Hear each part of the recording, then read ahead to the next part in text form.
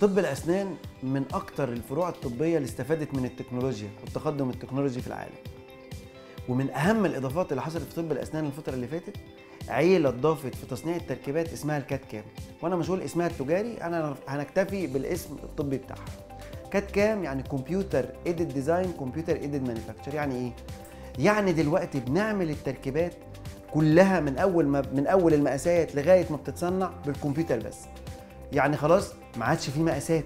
العجينة اللي بنحطها ونفضل العيان قاعد متضايق منها وتعمل لنا مشاكل لا ده ما بقاش موجود. دلوقتي في حاجة اسمها optical impression أو المقاس بالكمبيوتر. بتتصور 3 دي تطلع دقيقة جدا. بناخد ال 3 ده ونبدأ نعمل عليه ال design بتاعنا. وال design ده بننقله بنسبة 100% لمرحلة التصنيع. فبتطلع التركيبة مقفلة كويس قوي العضة فيها مظبوطة جدا. مقفلة على السنان اللي جنبها كويس جدا لأنها اتعملت أصلا من الأساس على كمبيوتر عشان كده الكات كام من أهم إضافات التركيبات في طب الأسنان.